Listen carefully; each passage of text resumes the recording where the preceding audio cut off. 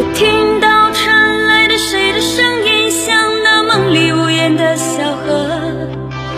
我看到远去的谁的步伐，遮住告别时哀伤的眼神。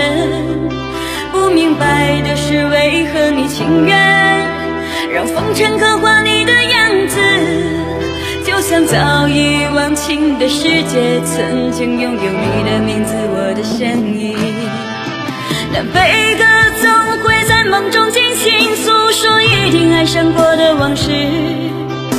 那看似满不在乎、转过身的，是风干泪眼后萧瑟的影子。